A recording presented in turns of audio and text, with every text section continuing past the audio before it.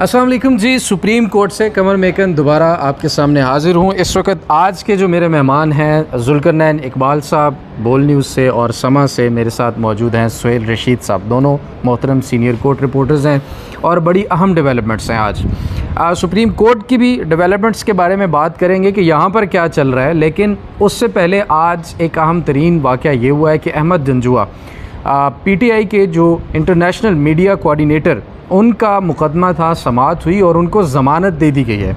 अब नाजरीन, अंदाज़ा कीजिए कि ऐसे मुलजिम को ज़मानत दे दी गई है, हुकूमत ने जिसके बारे में पूरा बयानिया बनाया कि उसके पास डेटोनेटर बरामद हुए, बम बरामद हुए और उसके बाद कहा गया कि उसके पास ए के फोर्टी सेवन, जो कि दहशत गर्द भी इस्तेमाल करते हैं, वो भी उनसे बरामद हुई है और वो एक शॉपर में लेकर सड़क किनारे जा रहे थे और पुलिस का जो नाका होता है उसको क्रॉस करते हुए वहाँ पर उनको गिरफ़्तार किया गया।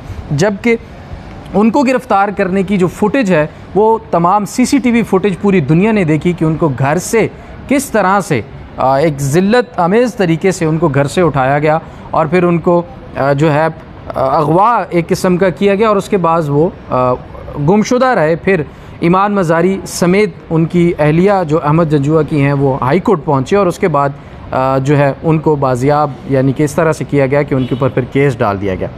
अब मामला ये देखना है कि 9 मई का जो शोर हुकूमत और इस्टेबलिशमेंट जो करते हैं कि इस वक्त जो 9 मई के मुलजमान हैं, उनको नहीं छोड़ेंगे।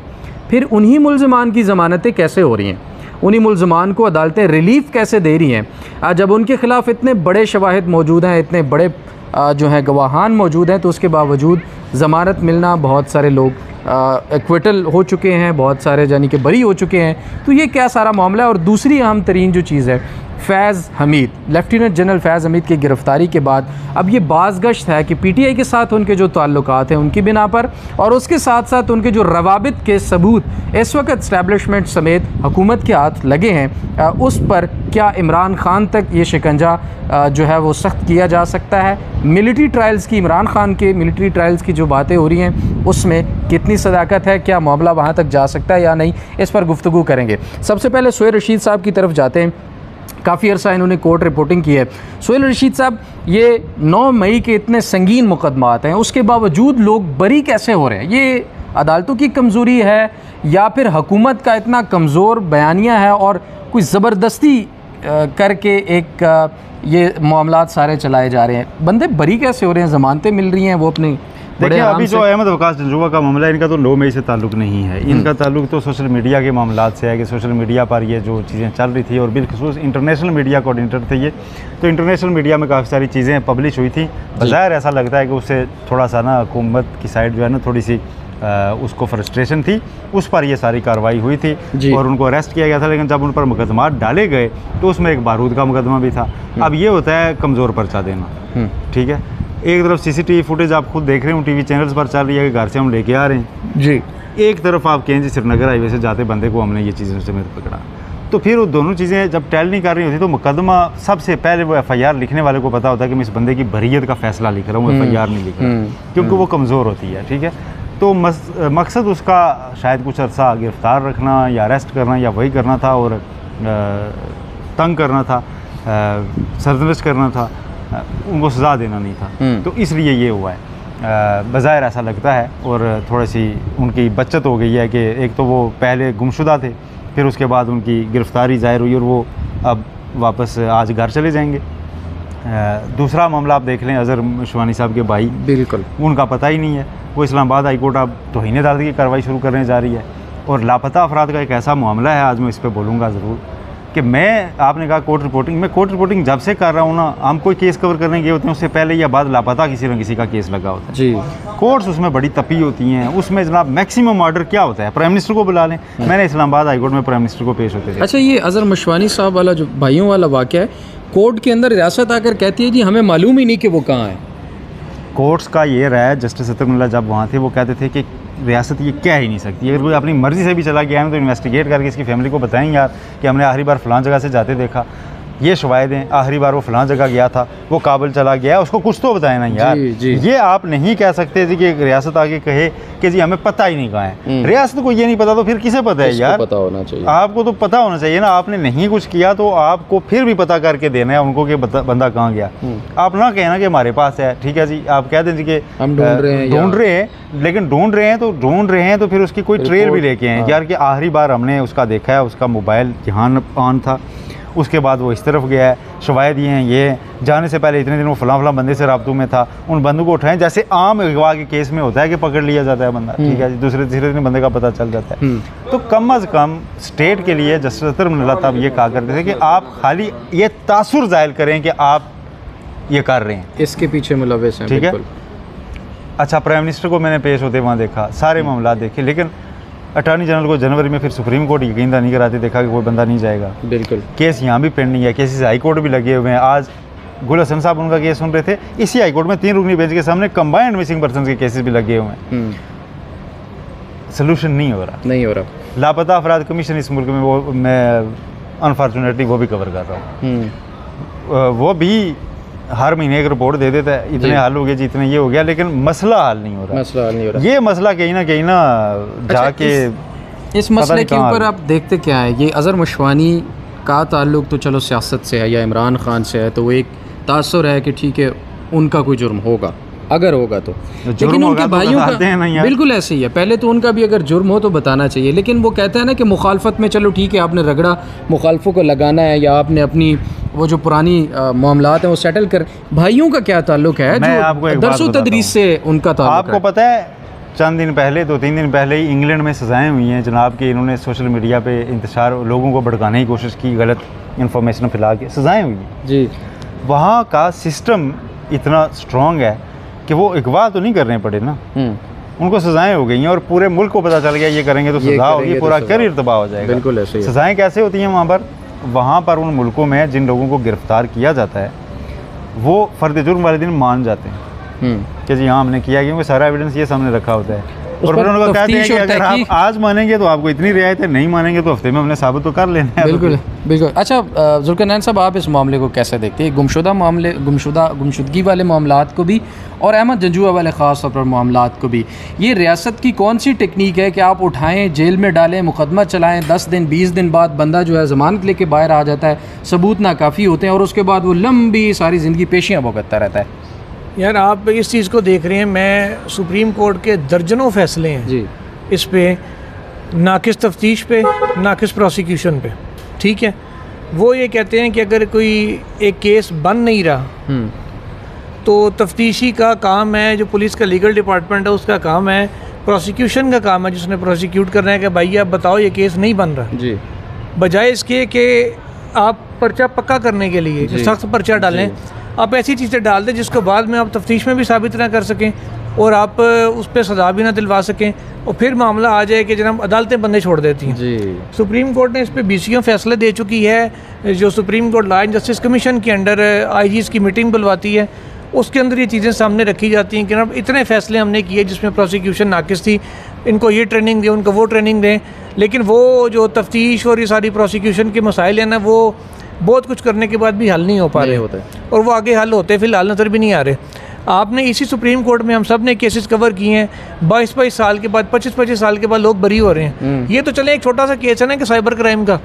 कि आपने वो कर लिया या किसी से आपने पिस्तौल डाल दी किसी पे क्या डाल दिया? जी जी। और कत्ल के केसेस में पच्चीस पच्चीस साल लोग जेल में कैद रहने के बाद बरी हो रहे हैं। हम्म, पिछले हफ़्ते एक केस लगा होता है तेईस साल वो बंदा जेल में रहने के बाद सजा हाँ, सजा पूरी हो गई उसकी। बिल्कुल उसके बाद जाके उसकी अपील फिक्स हो रही है ये हो रहा है। तो इन चीज़ों के ऊपर आप चीज़ ये कि जिन्होंने नीचे उसको सजा दे दी उन्होंने भी एविडेंस को खास नहीं देखा हुआ था।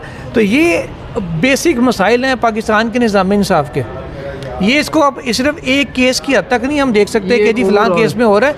ये ओवरऑल कह लें कि हमारे जो निज़ाम इंसाफ है ना उसके अंदर एक मैनुफेक्चरिंग फॉल्ट है। हम्म, कि हम लोग इंसाफ का मतलब सिर्फ़ अदालत की हद तक इंसाफ नहीं होता कि अदालत ने फैसला करे तो इंसाफ है। अदालत ने तो बाईस साल बाद इंसाफ करके बंदा बरी कर दी है। देर से ठीक है? जुल्फ़कार अली भुट्टो को पचहत्तर साल बाद आपने इंसाफ दे दी है। लेकिन वो किस काम का। जो 22 साल एक बंदे ने अपनी जवानी सारी जो उसमें वो काम कर सकता था कमा सकता था वो उसने अंदर गुजार दी। और जब वो किसी जगह नहीं रहा आपने उठा के घर फेंक दिया। ना इस दौरान वो 22 साल अंदर रहने के बाद जो उसके बच्चे हो गए हो गए ना उसके पीछे औलाद कोई हो सकी ना कोई और सिलसिला कि जो उसको इस उम्र में खिला सके। बंदा आपने नकारा कर दिया। बिल्कुल। तो ये वो बेसिक मसाइल हैं जिनको एड्रेस करने की ज़रूरत है। बदकिस्मती से। जी। अच्छा और जो लापता अफराद की जहाँ तक आपने बात की। वो लापता अफराद कमीशन के जो चेयरमैन हैं जावेद इकबाल साहब। जी। मौजूदा हुकूमत जब अपोजिशन में थी तो शदीद तनकीद उनको निशाना बनाया जाता था। जब वो नैब चेयरमैन भी थे, इधर भी थे, जनाब, वो ये कुछ नहीं कर रहे, उधर कुछ नहीं कर रहे, उधर कुछ नहीं कर रहे। सुप्रीम कोर्ट ने भी ऑब्जर्वेशन दी कि जब वो, जब से कमीशन बनना है दो हज़ार दस ग्यारह से, कि बारह से, तब से अब तक वही चले आ रहे हैं। तो गवर्नमेंट को कहा, जी, आप इनके मेम्बरान को इनको देखें, आपने क्या करना है? अच्छा उनको टिल फर्दर ऑर्डर्स इसी गवर्नमेंट ने तो- तोसी दे दी है जावेद इकबाल साहब को ही। वही अगर गवर्नमेंट खुद कहती है वो काम नहीं कर पा रही और यहाँ तक नौबत आई कि आज़म नज़ीर तारड़ साहब की सरबराही में जो वज़ीर कानून है गवर्नमेंट ने एक कमेटी बनाई है पार्लियामेंट वो जो वजारती कमेटी मुख्तलि वजारतों के उसमें लोग शामिल हैं जो लेजिस्लेटिव पॉइंट ऑफ़ व्यू से देख रहे हैं कि ऐसी क्या लेजिस्लेशन की जाए कि मिसिंग पर्सन का मामला हल हो। अब उन्होंने ऐलान किया कि जी तीस लाख रुपए के पता नहीं कितना हम देंगे जो मिसिंग पर्सन फैमिली होगी उसको ताकि जब 50 तक- लाख। जब तक वो हो ना सके है ना लाइफ पचास। पचास लाख। कमीशन की टीम यहाँ से गुजर इलेक्शन कमीशन की टीम गुजर रही है तो वो खबर वाला जो आ, होता है जुल्करनैन साहब का आ, चले उसको नहीं बोलते क्या होता है बट साफ़ी के अंदर एक खबर वाला बच्चा होता है जो फ़ौरन जो है ना कूदना शुरू कर देता है कि शायद कोई खबर होगी।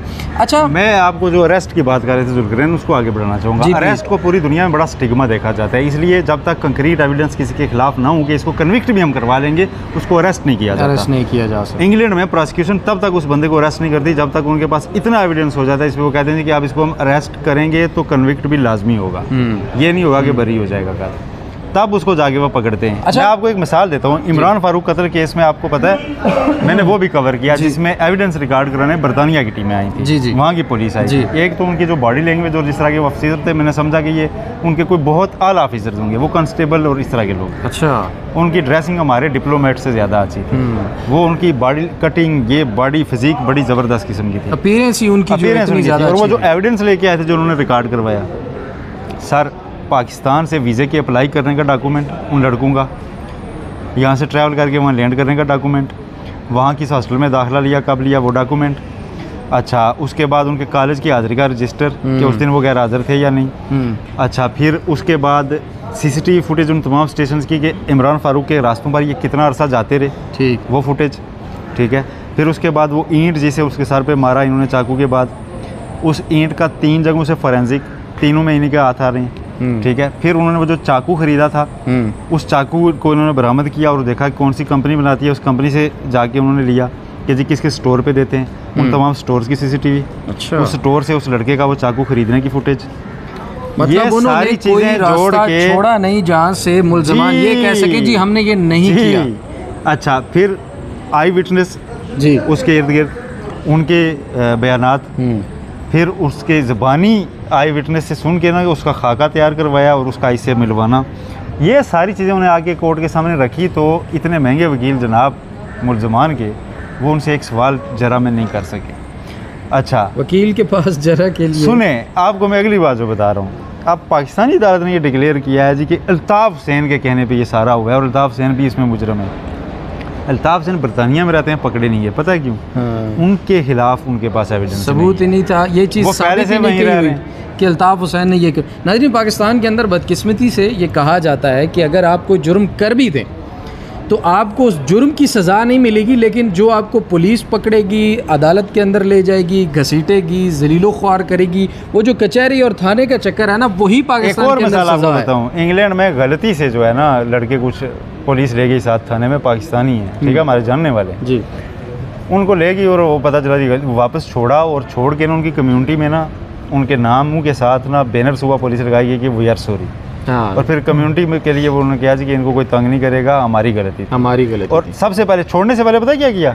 पुलिस ने उनको वकील दिया और डॉक्यूमेंट्स दिया अपने खिलाफ जी कि आप हमारे खिलाफ केस कर लें हमने आपको ना गलत हाँ डैमेजेस का सूट फ़ाइल करना चाहें तो आप कर सकते कर हैं। सकते हैं बड़ी बात है बड़ी बात है। हमारे है। जर्नलिस्ट हैं उमर जट। ये जब यूके में पढ़ा करते थे तो कुछ कोई इन्फॉर्मेशन पुलिस के वहाँ मिली कि जनाब यहाँ पे इनसे पहले जो लोग रहते थे ना उनका कोई इशू था। हम्म, वो आए उन्होंने इनकी फ्लोरिंग तक उखाड़ी सात एक्सपर्ट्स वो लेके आए हुए थे। उन्होंने फ्लोरिंग तक उखाड़ के तलाशी वलाशी इन सबको बिठा दिया नीचे के जनाब यूँ मुँह नीचे करके बैठ जाए हाथ ऊपर करके। वो सारे इस तरह बैठे रहे तीन चार घंटे ऑपरेशन चला कुछ नहीं निकला। उसके बाद उन्होंने उन्हीं एक्सपर्ट से वो सारी सेटिंग दोबारा करवाई। बाकी पुलिस चलेगी एक बंदा खड़ा रहा अपनी जरा निगरानी।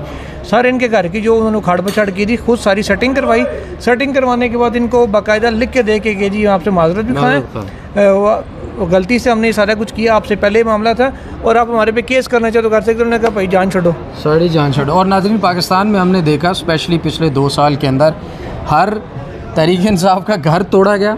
कोई सबूत मिला, नहीं मिला, वो सजा उन्हें दी गई। लोगों को उठाया गया, पर्चे किए गए दहशत गर्दी के पर्चे डाल। अभी तक लोग जलीलो ख्वार हो रहे हैं और सॉरी तो क्या कोई उसके ऊपर शर्मिंदा भी अपने दिल के अंदर भी शायद नज़र ना आता, बल्कि वो ये समझते हैं कि शायद हम ये ताकतवर हमसे कोई पूछने वाला नहीं है।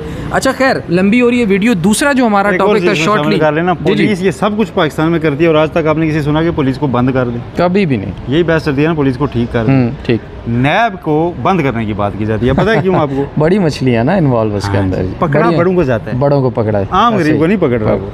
ठीक है चीखें बड़ों की निकल इसलिए उसको बंद बंद कर दो और पुलिस को बेशक जैसे चल रही है वैसे चल यार उसको भी कहना ठीक है। यहाँ तक कहा जाता है कि ये व्हाइट कलर क्राइम में गिरफ्तारी की ज़रूरत नहीं है करप्शन केसेस में गिरफ्तारी ज़रूरी नहीं होती।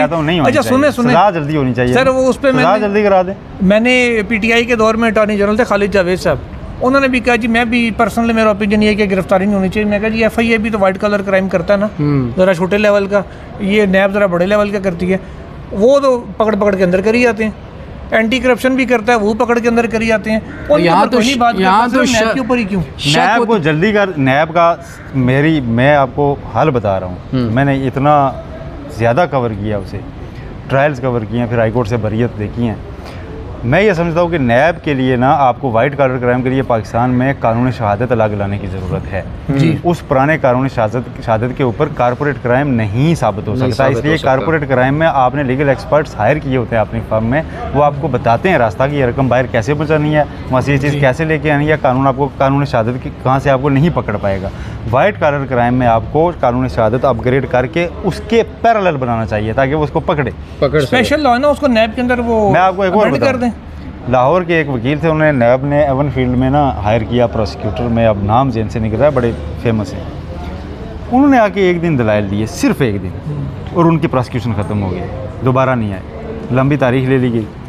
और इरफान कादर साहब और ये दूसरी तरफ़ से पेश हुए थे उन्होंने कहा जी ये इतने साइंटिफिक दलाइल हैं तो ये तो हम नहीं जवाब दे सकते। उन्होंने कहा जी कारपोरेट हम्म। क्राइम फिर साइंटिफिक होता है तो उसका साइंटिफिकली ही हम देख सकते हैं।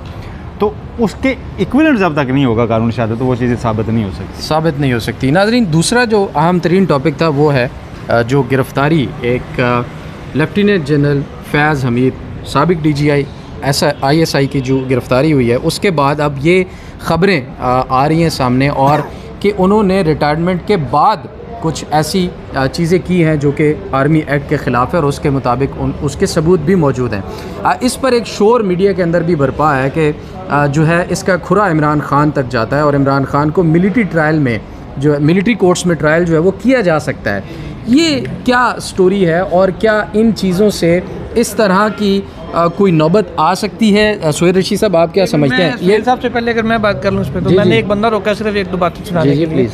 चीज़ यह है कि रिटायरमेंट के बाद उन्होंने जो किया, सो किया वो तो कल प्रेस रिलीज़ में आ गया कुछ चीज़ें इस्टेब्लिश हुई हैं, उस पर उनके खिलाफ कार्रवाई हो रही है। मैं सिर्फ़ इतना कहूँगा कि मौजूदा हुकूमत पहले दिन से पिट से अपर डाला हुआ इन्होंने कि जी नवाज़ शरीफ को निकालने के पीछे फैज़ उम्मीद है। अठारह का इलेक्शन फैज़ उम्मीद ने मैनेज किया। भाई वो केस भी उसके ऊपर डाल दें जो उसने सर्विस में कर वो नहीं डाला हुकूमत ने। डाले ना वो डाले ताकि वंस फॉर ऑल उसको पूरा किला कमा करें क्या तुमने सर्विस के दौरान भी ये ये काम गलत काम किए। हम्म। ओत की खिलाफ वर्जी की। काजी साहब ने आइन तोड़ा फैजाबाद ज़ाहिर है वो आइन तोड़ने के मुताबिक फैजाबाद धरने वाला काजी साहब ने कहा जी मैंने कहा था जी फैज उम्मीद है इसके पीछे बाद में मुकर के वो भी कि मैंने नाम नहीं लिखा था। जी। तो ये सारी चीज़ें उनके ऊपर केस मुकम्मल बना के डालें अगर मौजूदा हुकूमत के पास सबूत था क्योंकि प्रेस कॉन्फ्रेंसों में उन्होंने बड़े दावे किए हैं। जी जी। तो जो नवाज़ शरीफ ने कहा था फैज साहब और बाजवा साहब आपको हिसाब देना पड़ेगा। तो उन चीज़ों का हिसाब कोई नहीं उन चीज़ों का हिसाब हुकूमत इनसे फेडरल गवर्नमेंट है ना क्योंकि वो कोर्ट मार्शल में ये चार्ज में ये चीज़ शामिल करवा सकती है अगर इनके पास शवाहिद हैं तो अगर नहीं है तो उस हद तक ये अपना केस वापस लें। बाकी जो माफ़ी मांगे कि हमने गलत इल्ज़ाम लगाया था। आर्मी एक्ट ने आर्मी एक्ट के तहत उनका ट्रायल वहाँ पे स्टार्ट हो रहा है अब फ़ील्ड कोर्ट मार्शल में। उनके पास यकीन इंक्वायरी में कुछ चीज़ें स्टैब्लिश हुई हैं तभी उन्होंने कार्रवाई आगे बढ़ाने की बात की है। अब वो चीज़ें क्या हैं? आफ्टर रिटायरमेंट वो अभी तक सरफेस पे नहीं आई। जी। वो स्पेकुलेशन हो रही हैं स्पेकुलेशन हो रही हैं कि जी वो नौ मई है वो इमरान खान तक जाएगा इधर जाएगा उधर जाएगा। ये सारी वो बातें जो वर्ड ऑफ़ माउथ हैं।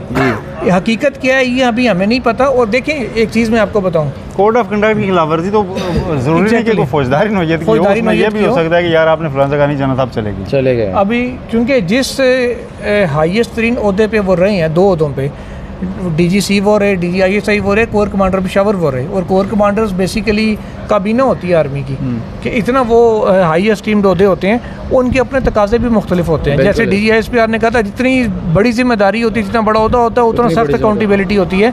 कि आप जिम्मेदार भी उतनी ही हैं कि आपने कोई खच नहीं मारनी। अगर उन्होंने कोई ऐसी हरकत की है तो यकीनन वो कानून के मुताबिक उनके खिलाफ कार्रवाई हो अच्छा, और हो के मंतकी अंजाम तक पहुँचे खाली वो और उम्मीद है कि जिस अंदाज में ये हाँ, सिर्फ़ मीडिया अटेंशन के लिए और वक्त गुजारी के लिए नहीं तो होना चाहिए। रिटायरमेंट वाले को ना फोकस करके ना कल से जो एक लगा लिया है ना कि पीटीआई पीटीआई पीटीआई अच्छा, मैं उसी तरफ़ आना और भी तो हो सकता है। उसी तरफ़ स्पेकुलेशन से गुड इंटेंशन से की गई कार्रवाई को मुतनाज़ा बनाने की पता नहीं हुकूमत क्यों कोशिश कर रही है। बिल्कुल ऐसे- है? बिल्कुल ऐसे ही है, ये तो वो अब तो ये होगा जी ओहो अब तो मुदाखलत वो रिटायरमेंट भाई कैसे? हुकूमती उसको- इतिहाद की लोग प्रेस कॉन्फ्रेंस ही कर रहे हैं कि जनाब उन्होंने ये भी किया था वो भी किया था। तो यार मैं यही कह रहा उसका हूँ ज़िक्र नहीं आ रहा है। फैसल वाडा की फैसल वाडा की प्रेस कॉन्फ्रेंसेज हैं बहुत सारी जिसमें उन्होंने आशा शरीफ का मामला इस गिरफ्तारी से जोड़ने की कोशिश की 9 मई का मामला जोड़ने की कोशिश की वजीराबाद हमले का मामला जोड़ने की कोशिश की। कहाँ खुलेगा कहाँ मुकदमा दर्ज है मुझे ये तो बताएँ ना। ये इस्लामाबाद में। इस्लामाबाद वो कचहरी का वो सिविल मामला है ना मतलब उसमें वो है क्रिमिनल लेकिन वो मतलब सिविल कोर्ट्स में है। नहीं, मैं- मैं- नहीं चलेगा। हम्म, वो ये बड़ा कैटेगरी कि- रहे हैं कि वो उन्होंने इंक्वायरी में एविडेंस ले लिया होगा। ठीक है अब वो कोर्ट मार्शल की कार्रवाई है और उसमें उन्होंने अगर सिर्फ़ उन्हीं को अरेस्ट किया है तो अभी हमें स्पेकुलेट नहीं करना चाहिए। वो ये अभी तक सिर्फ़ फैज उम्मीद के खिलाफ एक कार्रवाई है। हम्म। ऑब्वियसली अभी तक ये भी नहीं पता कि मजीद किसी को arrest ये कोई वो नहीं है कि पुलिस उठा के ले गई या वो बोलेगा फला फला फला भी नाल है। है? यार वो वो साबिक उसके- डीजी ऐसा है वो आलू थोड़ा एक इधर से उठाया उधर जाके उबाल देना और वो कच्चा पक्का सारा कुछ बाहर आ जाएगा। ऐसा नहीं होगा।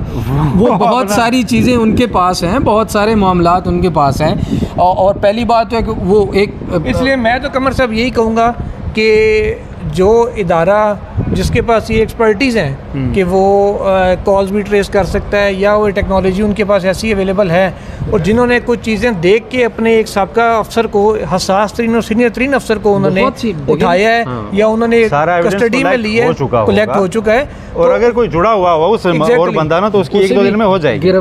वो- विद इन रैंक्स हुआ बाहर हुआ उसका भी हो जाएगा। वो अगर प्रोसीड कर रहे हैं अपने लॉ के मुताबिक तो मेरा ख्याल है उसको करने दिया जाना अच्छा, चाहिए। नहीं, एक बिला वजह की हुकूमत की जानिब से नहीं करनी चाहिए इसको speculations, मुतराज़ा नहीं बनाना चाहे हुकूमत हो चाहे opposition हो, मेरी बात सुने मेरी बात सुने नौ मई के ऊपर उन्होंने अपने लोगों को यार पहले ही कर दिया हुआ है। कोर कमांडर लाहौर Appreciate को नहीं हटाया था। कोर कमांडर लाहौर हटाया है। ठीक है? उसके साथ आपका सिविलियन तो कोई नहीं जोड़ा उन्होंने। नहीं। उन्होंने जोड़ा था कोई आपका हाँ, कुछ सिविलियन 102 लोग था उन्होंने उठाए हुए हैं, हम, भी ये कहा जा रहा था ना कि इमरान खान जनाब कोर कमांडर के करीबी और ताल्लुक जोड़ा हाँ उन्होंने नहीं जोड़ा नहीं जोड़ा। उन्होंने 103 बंदों की कस्टडी ली इमरान खान उसमें शामिल थे नहीं थे हम्म। ठीक है? अब भी जो उन्होंने कार्रवाई किया वो अलामिया यही बताता है कि उन्होंने डिसिप्लिन की खिलाफ वर्जी किया एक तो टॉप सिटी वाला मामला मेन वही है। हम्म। पोस्ट रिटायरमेंट भी उनकी एक्टिविटीज़ ऐसी थी जो कि कोड ऑफ़ कंडक्ट की खिलाफ वर्जी हैं। उसमें हामिद मीर साहब जो कह रहे हैं वो चीज़ ज़रूर मद्देनज़र रखें।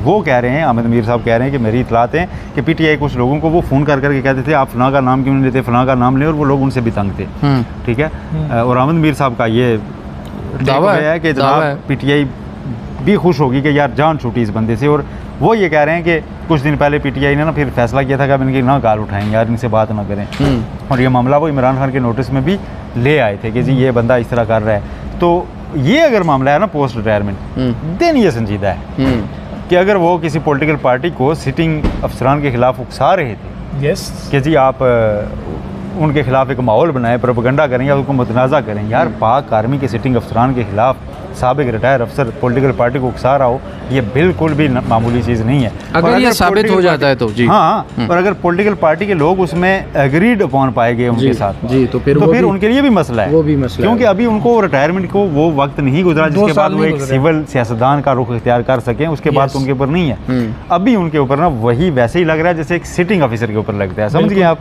तो वो फिर वो जो एक होता है ना ढूंढा जाता था यहाँ पे मिलिट्री कोर्ट्स केस में कि सिविल आदमी का अंदर कोई रबता और उसमें एक साजिश साबित होनी चाहिए। हम्म, देन ये ट्रायंगल पूरी हो जाएगी और उसमें फिर मसला हो सकता है जो लोग उनसे रबते में थे उनको अपनी खैर बहरहाल मनानी चाहिए लेकिन बहुत ज़्यादा स्पेकुलेट करना कि उनको वादा माफ़ गवाह बना के इमरान खान को पकड़ा जाएगा वादा माफ़ गवाह बना के मेरा ज़ाती ऑब्जर्वेशन या राय ये है कि नहीं किया जाएगा वादा माफ़ वो होता है जिसको माफ़ कर दिया जाता है। तो फैज़ मीर को अगर हम माफ़ करके तो इमरान खान को उसके कहने पर सजा देंगे तो वो फिर एक कंट्रोवर्सी बन जाएगी। मेरा ख्याल है उस तरफ़ नहीं मामला जाएगा ये प्रोफेशनली होगा प्रोफेशनली सारी चीज़ों को डील किया जाएगा। और दूसरा देखिए सबसे पहले जो गिरफ्तारी के वक्त जो एलामिया एग्ज़ाम्पल दूँ? Please please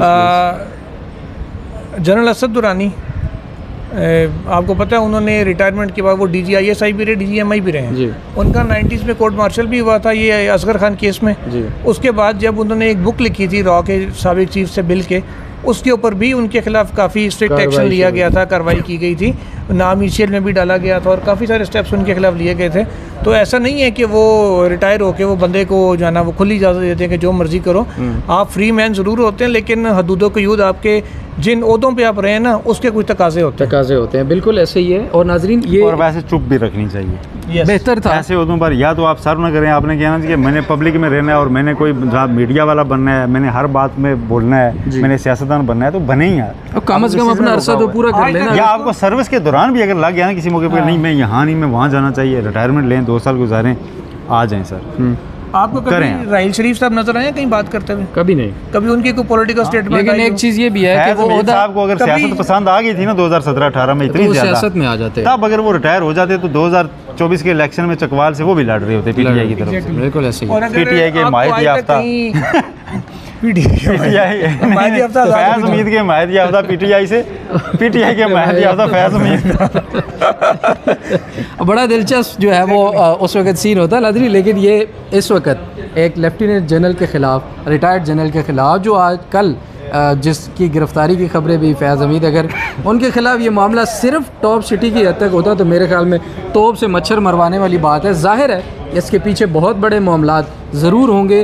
कुछ ना कुछ ऐसा ज़रूर होगा जो चंद दिन में हमारे सामने आ जाएगा। जैसे कि सोहेल रशीद साहब ने अभी कहा और जुल्करनैन भाई ने भी कि अगर किसी का इस मामले से ताल्लुक़ हुआ यानी कि सिविलियन के साथ उनकी इन्वॉलमेंट हुई सा, साबिक किसी अफसर की जिस तरह फैज़ हमीद है उनकी आ, पार्टी के पीपल अपना पीटीआई के लोगों के साथ मौजूदा हाजिर सर्विस लोगों के जो बैठे हुए हैं अहदों पर उनके ख़िलाफ़ कोई प्लानिंग हुई तो ज़ाहिर है आइंदा आने वाले चंद दिनों में ही मज़ीद गिरफ्तारियाँ भी सामने आ सकती हैं। तो ये था आज का हमारा प्रोग्राम। अपनी दुआओं में ज़रूर याद रखिए। जुल्कनैन साहब और सोहेल रशीद साहब का बहुत शुक्रिया। अपना बहुत सारा ख्याल रखिए। अल्लाह ने के बाद।